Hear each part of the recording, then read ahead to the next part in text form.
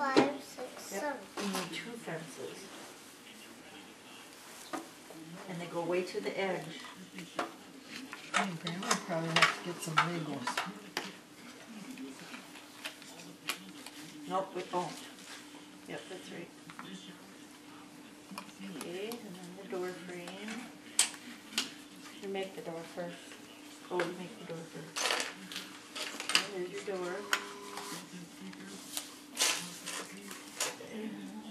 through or not. Hey, come in close. Come down home. Oh, it's so cute.